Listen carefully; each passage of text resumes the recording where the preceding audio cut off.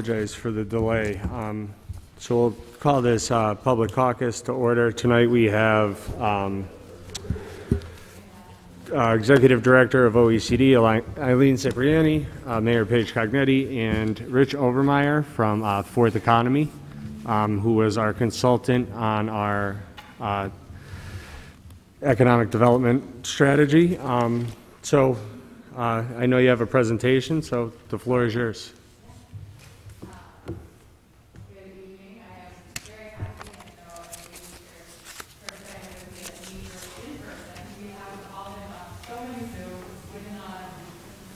I'm sorry, could you turn the, Um, we met, I believe, even Christmas Eve morning. Um, so we've been together via Zoom, but it's really nice, Rich, to meet you in person. And we're excited to have Rich present to you all. He and his team uh, have really been in such close touch with us and dozens and dozens of community members um, from all across Scranton to help us formulate a strategy going forward for economic development, for community development. Um, There's, there's some pieces in here that are, you know, facts and figures that are, are really stark. There's, you know, it's, it, we're trying to get somewhere, we're all trying to get somewhere together to increase the quality of life here, to grow our economy.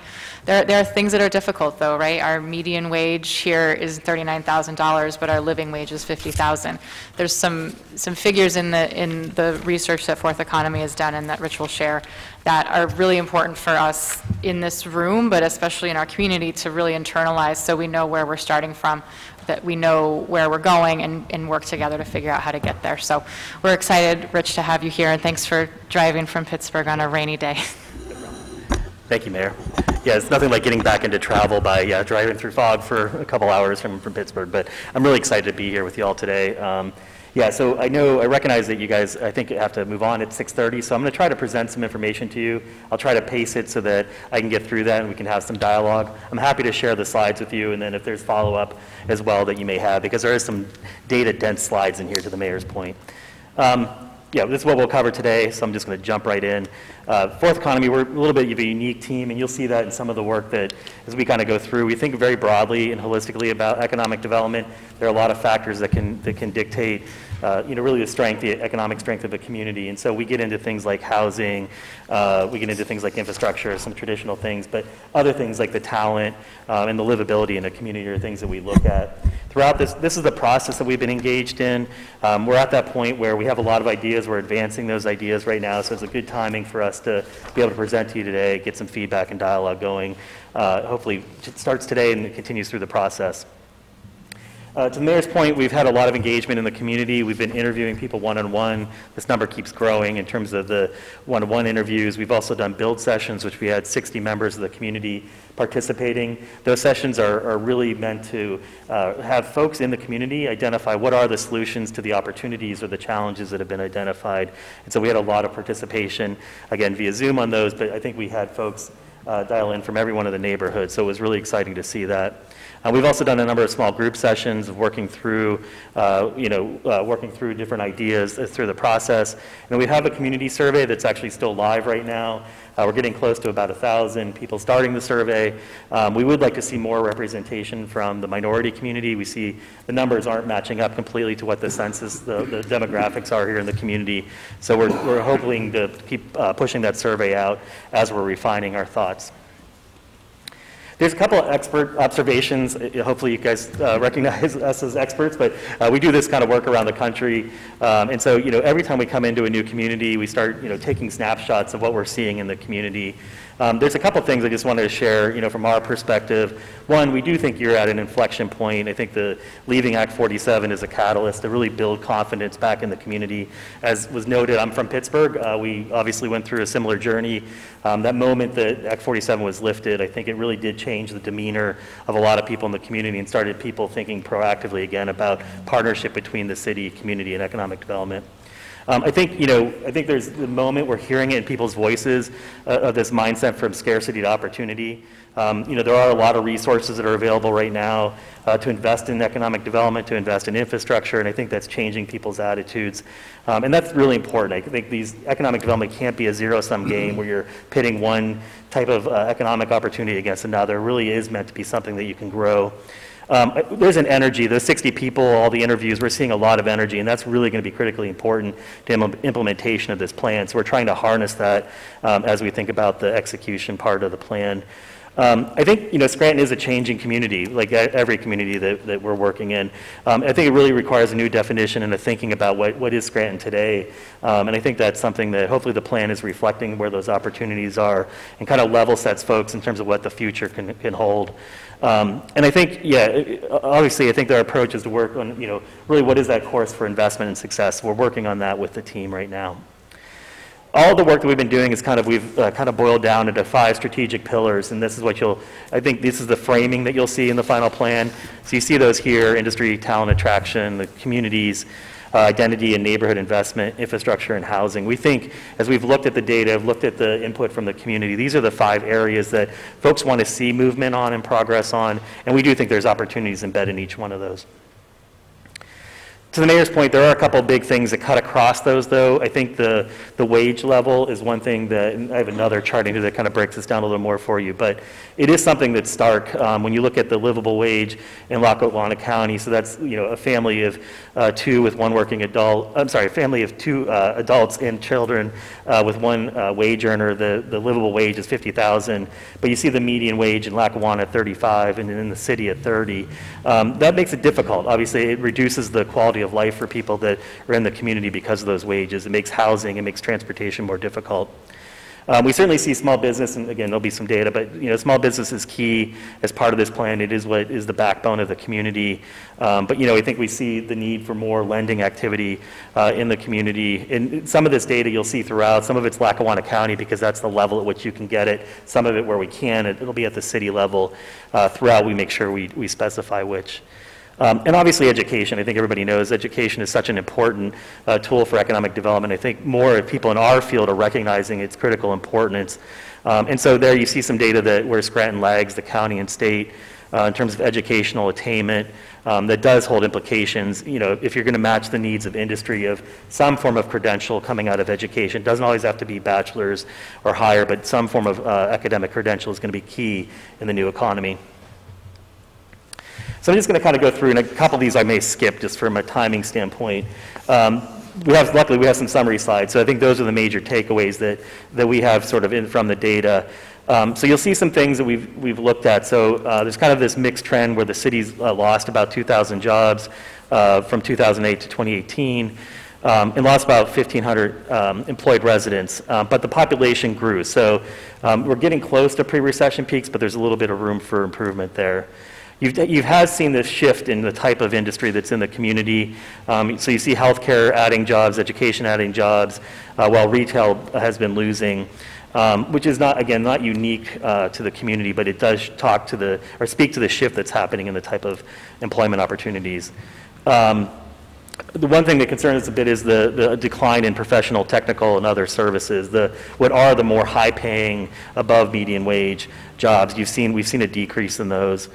One other thing that's caused some uh, pause for our team is the low labor force particip- participation rate um, and low unemployment. I think more the participation rate is something um, that, you know, basically it's, it's low at 57%, which is about 3% lower than the county and 7% lower than the US. It could be a variety of things. Either there's not the infrastructure, infrastructure to support people going to work. Certainly in the last two years, things like childcare um, have become a critical flaw in a lot of communities and a need uh, to really re- revisit the childcare system and how to allow people to get back into the workforce. Plus, you see some retirements. There is an age demographic. You see more retirees living there that's probably contributing to some of that. We do see some wage growth, but again, still losing ground relative to the U.S. I'll send these to you. This, this will give you the detail about where those job losses, the sectors uh, that lost the jobs. Um, You know, there are some bright spots. I think the, the growth of the finance sector is something that we want to hopefully continue to, to invest and, and see that happen because, again, if you look at the median wage there to the right, that's one of the ones that's above that, that threshold that we want to see. Um, And then you see throughout um, where the losses and the gains are with each one of these. One of the other areas that we've been looking at is, is looking at the declining business birth rate. So the blue um, is Lackawanna at the bottom there. Overall in the U.S., you've seen this, this trend. One of the things that we won't know for a year or two, I mean, we're seeing uh, skyrocketing numbers of people starting businesses. We're hearing that anecdotally in the community. So think right now is a time that we've got to lean in as, as an economic development profession and help those small businesses survive and then hopefully thrive. Um, people are just out of necessity forming new businesses, and so it's an opportunity for, I think, for Scranton and other communities to really make sure that those folks are able to thrive here in the community. One of the key supports is uh, small business loans. So it's one area that we're working on is our, you know, looking at a recommendation around how do we uh, increase the pipeline of small business loans uh, so that you're on pace with uh, U.S. numbers. So again, the, the bottom line there is Scranton's number compared to Lackawanna, which is at the top line. So uh, we're trying to get balance, better balance in that. A couple other stats. I mean, looking at minority, I think there's higher level of women and minority uh, businesses in, the, in Lackawanna County. I'm sorry, in Scranton, and then in Lackawanna County um, which is great. I think we, want- again, we want to hopefully continue to see that, that trend, and again, as other capital comes online, make sure that's focused. Um, Couple key findings on the talent side. Um, I think one is the changing face of education. The- Our K through 12 schools in Scranton serve approximately 60% non-white students. Uh, 75% of them are ec- considered economically disadvantaged. Again, relates back to that median wage uh, issue. And 10% are English learning language. Um, I I think there's mixed data right now on where the district is growing or shrinking. Um, And graduation rates are just slightly lower than the US, or I'm sorry, than the state average. One area of opportunity, we think, is the disconnected youth. There are 2,500 uh, folks that are considered disconnected youth in the community. These are 16 to 24-year-olds. I think we're seeing that increasing. I think so that's an opportunity to have programming to get those folks back into education, get them into the workforce productively. Uh, the pandemic we're seeing throughout the state, um, and certainly we're seeing this in the region, that that number is going to increase because people have walked away because of the situation that we've all been dealing with. Um, yeah, I'll move on. So this, yeah, this breaks down that stat in terms of the living wage versus median wage. Um, so it's just such a stark, I think when we started digging into this, we had to check our numbers because it is just stark when you look at Lackawanna County uh, versus, you know, the median wage of being uh, 35,712 and in the, in the Scranton being 30,000. So at 30,000, that's $14.45 an hour uh, versus the living wage, which is 24.39 for the county. So there's a lot of room for improvement there, and hopefully, you know, the part of this plan is going to try to address how do we start making headways in that to bring up uh, the opportunities for folks to make more. There's some commuting data in here. I'm just going to be mindful of time. Um, yeah, again, education level, we see um, really this, this, in the city of Scranton, you see bachelor's degree or higher at 22%. Uh, on both of these, on high school and on the bachelor's, you see lower levels in Lackawanna County and even lower, lower levels in the U.S. So I think there's something there between the disconnected youth and those levels. Can we get people uh, the credential that's needed uh, to be, you know, uh, become, you know, more gainfully employed or, or uh, secure higher wages? Um, one of the things we're looking at too is, is, really the changing demographics of the community. Um, the blue are, is Scranton and then Lackawanna is red. Um, you see a decrease in the white population, a little bit for both, uh, but then you see the increases, the influx of uh, you know, black African American, Asian, and then other races, which is a, a mix of other categories, um, which includes the Latino population that's been growing. yeah. Uh, yeah, the other thing is we, you'll see data in these that really breaks down. We try to look at disaggregating the data uh, by race and ethnicity. Um, again, one of the things that in our work we try to look at, um, you know, the, the quality of life or the livability of a community uh, is not the same for all. And so I think one of the things in the data we try to look at are there economic disparities, are there social disparities? And so you'll see that throughout the data. Um, and it's something that, you know, as we think about then what are the strategies, we've been working with the community to think about are there ways to address these uh, and improve the situation. And some of it's stark. I mean, when we get into this, I think you, even down to life expectancy. So, if you've seen the research nationally around, you know, your your uh, life expectancy is dictated a lot of times by your zip code because of the economic situation within those communities. We do see three census tracts within Scranton um, that have life expectancies of only 70 years. Um, you know, and then you see part of that is because of the economics of those communities, and then again, it's largely um, the non-white community, non-Hispanic, um, and 60% of the households have those median incomes below that 35,000 even. So, um, you know, again, the life experience for those people is very different than the rest of Scranton. It's something that we've got to be concerned about. Uh, And then housing, uh, yeah, I think we see a couple different things here that we've looked at. Um, Less than half of Scranton houses are owner occupied compared to 69% in Pennsylvania and 64 nationally. So you've got a lot of rental uh, properties in the community. Um, We've seen during the pandemic, uh, uh, throughout the eastern part of Pennsylvania, a significant inrush of outside capital too, from New York and from other places. Um, We worry about that for the long term because it's, it's increasing that ratio and not in the direction I think that any of us want. And so I think we've got to be mindful of what to, to be focused on those uh, owners to make sure that they are good rental and, and good, good landlords. Um, Again, you see issues because of the, the wage levels, cost of living, um, and cost burden households. You see a lot of that. Um, this is a map that shows you sort of where some of that cost burden, and, and what that means is basically uh, the, their, um their wage rates don't match what the, what the cost is for the household. And so they're basically paying out more than they should be in their, their either their uh, home ownership, their their mortgages, or their rent, which creates, you know, issues on the other side of their lives. So they, it makes it more difficult. And so the cost burden households, we want to see a better balance of what we're seeing in the community. Uh, And final thing is infrastructure. Um, So I think, you know, the- obviously strengths, the location and connectivity, and we've seen, you know, part of the growth that we've seen in, in people being attracted to the community are just the proximity um, and the resources here from infrastructure. Um, I think, you know, there, are- there's an ongoing thought about improvements to some of the existing needs around streetscapes, the road, bridges, uh, stormwater, as I've seen even driving in today under the couple of bridges. Um, There's obviously some need there for improvements. And then broadband, I think we've all, uh, we've, you know, for years, we've been talking about broadband. I think it's become a critical issue now that every community is trying to fix. Um, And exciting to see, you know, the passenger rail expansion potential uh, and the ARPA funding coming in play. Uh, Yeah, these are just summarizing that. So I guess, yeah, so in addition to our work, um, you know, we're also, you'll see, we're producing data around some additional baseline analysis, looking at sort of the neighborhood dynamic. It is such an interesting part of Scranton, the strength of the neighborhoods and the identity of those neighborhoods. So we're, we're, we're paying attention to make sure that we're talking through that. Um, And you also have other planning that's happening that we're integrating, at least because all these create the environment, the conditions that a strategic plan and economic development needs to operate in. And so, you know, even things like the school district plan are critically important, we see, uh, because of the talent and the education pipeline that's here. Um, Obviously, the, you know, you know these other things that prob- you've probably been seeing. Um, There'll be sort of reference as part of how those plans should be reflected as part of the economic development strategy. Um, In the strategy, uh, this is kind of a preview of what, what's going to be, we're putting together. So really thinking about, you know, what is the vision statement for the community? What are the goals that we see um, can be achieved uh, through this planning process? um, And then through the implementation of that process. Really, those five pillars that you see at the top there are really kind of how we're organizing it.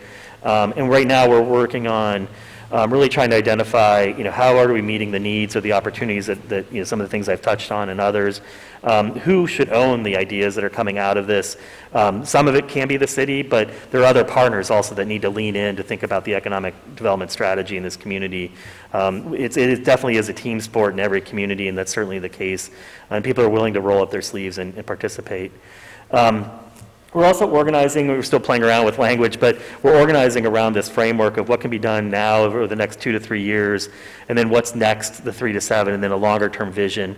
You know, some of the issues I've talked about here already um, are generational issues that we want to make headway. We know we're not going to exactly solve, like the, the wage rates and the, and the income rates, um, or the housing situation, but we can make, we can make inroads, and we can set realistic goals and achievable goals and stretch goals through this plan, and so that's something that we're trying to do. Um, Ultimately, we're, through that, we are going to deliver a dashboard and really that implementation plan uh, for the team and their partners to execute. Oops, went the wrong way. And one last piece, I think one of the things we've heard loud and clear, and, and I think, I don't know if it's the pandemic or just, you know, this community is, is, is unique, I think, in terms of like how much people wanted to talk about the communication.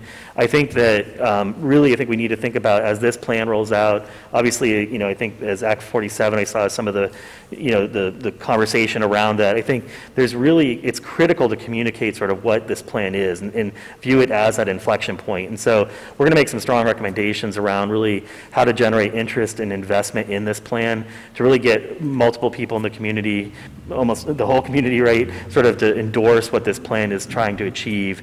Um, We really think storytelling, we've heard there will be a couple initiatives around storytelling of both um, the legacy economy and the legacy community, but the new community and the new economy uh, of Scranton. I think that's something that's going to be important to have people, um, you know, peer-to-peer storytelling, leadership storytelling, new resident storytelling. Um, And I think there's some, still some perception issues, both within, within the community and outside the community that uh, we'll be speaking to, um, you know, ideas about how to sort of change some of those perception issues. Um, One of the things we just, I was just mentioning, we saw that the, uh, the George W. Bush Institute just uh, declared Scranton a community of opportunity, which is great. Um, You need more of that, right? But that's one already that just, I think it just happened last week, so I don't know if our team told you, sorry about that if they didn't. Um, We just read it yesterday, so, um, so yes, that's something, and- and that's a data-driven analysis. They looked at communities throughout the country. Um, And yeah, Scranton was one of a select mix that- that's considered that. I mean, again, hopefully you saw that in- in my preamble there at the beginning. We agree that there's a real opportunity here. Um, This is a moment in time, and um, yeah, we're hoping to really, you know, deliver a plan that is readily implemented um, and really can give the, the energy and the traction for the community to move forward. So I condensed a 45-minute presentation into 20, so I think maybe I get two points for that. We- but now I can talk- Absolutely, we thank you for that. Um, So I guess my, fir- my first question is, so what's the next step? It's, it's putting together the, the plan as a whole? Is that what the next, Yeah, we're, we're working through, I mean, there's still, we're still looking for feedback on some areas. I mean, we have a, again, those pillars are set up that we're, we're building out recommendations. A lot of that came from the community in terms of how we're going to solve things. We're fleshing those out, the who, the what, the, what's going to be the impact. Um, and looking for impact, input from various stakeholders that were part of that. And then obviously, if you have ideas as well, we'd love to entertain those. Um, But that's the next step. So over the next 30 days, we're going to be diligently writing, following, doing final research and putting together that plan. Uh, It needs to be completed by the end of March. It'll be sooner than that, obviously, to get through an approval process. So the next 30 days is the critical input period. Okay. Uh, Does anyone else have any questions, I just have a follow-up? quick question. So during this whole da- data collection, um, Mike. all right, during this whole process, did, did, did um, your thought process think about, because you talked about generating business interest and, and uh, adverse perception. And I always hear, constantly hear that, you know, we need a county reassessment. And because we don't have one, it's preventing economic development. It's preventing generating business interest. It's preventing, you know, it's- and it's adding to the perception that no one wants to come here because of that. Uh, So was that any part of the thought process during this whole data collection? Yeah, absolutely. I think that was part, I missed one piece of what you said there. This, this uh, fan is like uh, really loud. Um, Yeah, sorry. Yeah, we definitely were thinking about the perception of the businesses. I missed the one part though you said there. Oh, the reassessment part of it. Reassessment, Yeah. Yeah, I mean, we've looked at it. I don't know, yeah, it's come up through the conversations. We don't, I, right now, we don't have a strategy right now that's looking at reassessment that's completely built out. That's where we are. That's what I, I kind of had a question, um, and I, you know, I applaud you for this plan. Um, you know, I'm a big believer that proper planning prevents poor performance. Um, it's great once you have a plan together, but I've found, you know, in the positions that I've served in in the past, that there needs to be, you know, kind of like a grid or a roadmap where there's action planning, where people are assigned, okay, here's who's responsible. It could be multiple people or organizations, but as you, rather than letting this thing collect dust, people need to be assigned, and they need to be tasked, and there needs to be deadlines, and there needs to be, you know, meetings to say, okay, where are we? How are we progressing with this? What are we doing? What are the obstacles to achieving our goals here? Um, Will that be part of this? Yeah, absolutely. That's the, I probably gave you shorthand of how we talk about it, but that's really this, to hear the, the ownership and implementation team. Again, that's city and partners. Some things we'll be asking the city's partners to lead, other things that the city can be a leader on. And then, yeah, I think that impact, both impact and timeline will will be part of that, um, as well as, I think you mentioned, and I would agree, that also identification of any risk factors, like what could go wrong and how do you course correct, that will all be part of what we're. Yeah, because there's going to be obstacles along the way, so. Yeah, I mean, we, we haven't learned to How adapt we the go last few over it, years, around right? it, Yeah. however. Yes. All right, thank you. Yes, sir.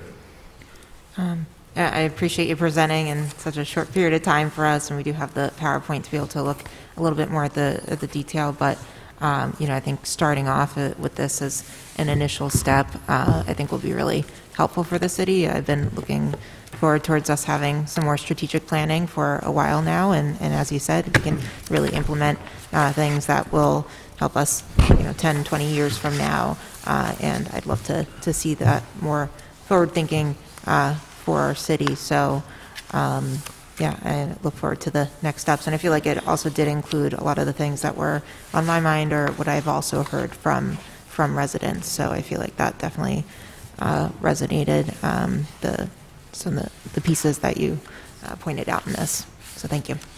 Great. So it seems that the, you have owner occupied versus rental, so it seems that the amount of rentals in Scranton seems to be somewhat of a, an issue.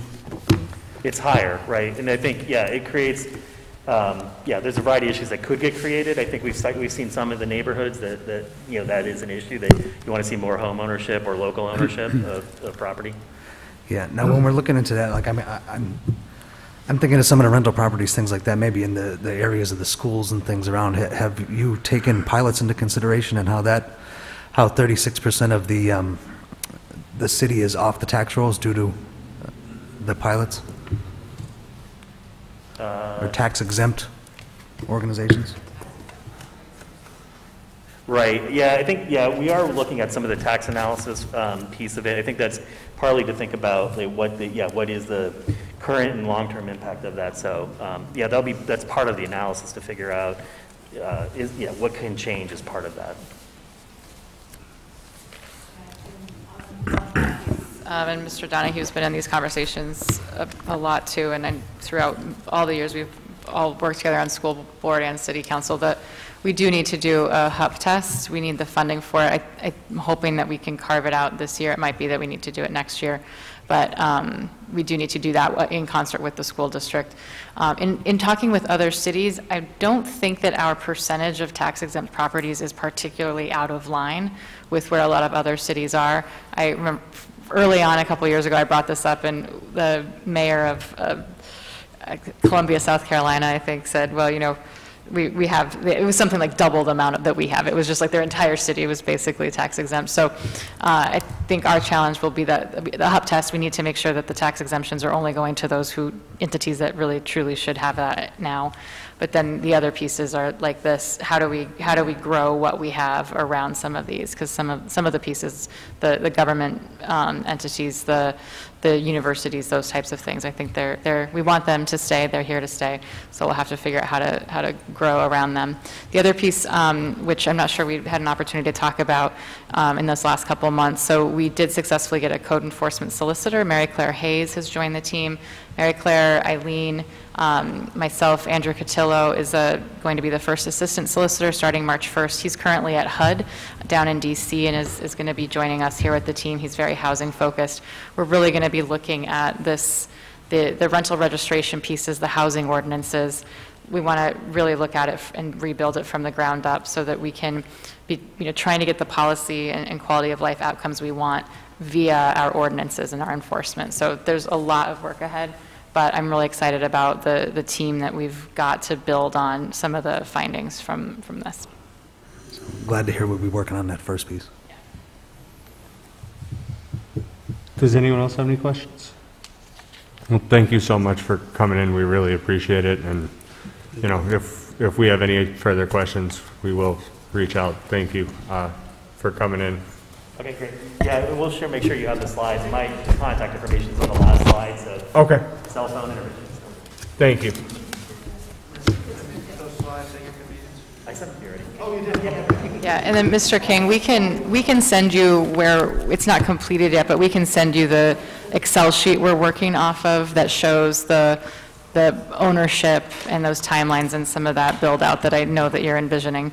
Um, If we can just get a, Just, and, yeah, Thank you just, very much. Moment in actually, time. just lastly, on that point, we have to tie it into the whole region too, right? Because it's not, you know, what, what we do here in terms of economic development isn't just in our walls. It needs to be tied into, you know, the whole region around us, because we are the driver, you know, for all of northeastern Pennsylvania, whether people want to admit that or not, but. And, and a lot of the partners that we're working with are, are, fo- are regional, right? You have the Greater Scranton Chamber of Commerce, you have um, the Scranton Area Foundation, that is not just Scranton, you've got the, uh, the institute um, between Luzerne and Lackawanna counties, the universities and the colleges, that it's, it is definitely a larger than just our, Yes. our city limits in scope. Um, But what's great about having this data, and I'm so excited that we've had, had this opportunity to work with, with Rich and his team, it, it gives us also the data we need to show how Scranton is different from some of, some of the other areas. And um, we need to make sure that we're, you- we're creating the tools that we need in Scranton for that, for those unique things. Some of the pieces are congruous between the whole county and us. Some of these, like the, the rental rates, are going to be very different in Scranton than they are in the rest of the area. So, All right, thank you all. great. Thank you very much. Thank you. Um, we'll take a two-minute recess, and then we'll start our meeting in about two minutes. Thank you. Visit ectv.network for the ECTV program schedule, city and county meeting rebroadcasts, and more. ECTV, Electric City Television, live municipal broadcasts on Comcast, Channel 19.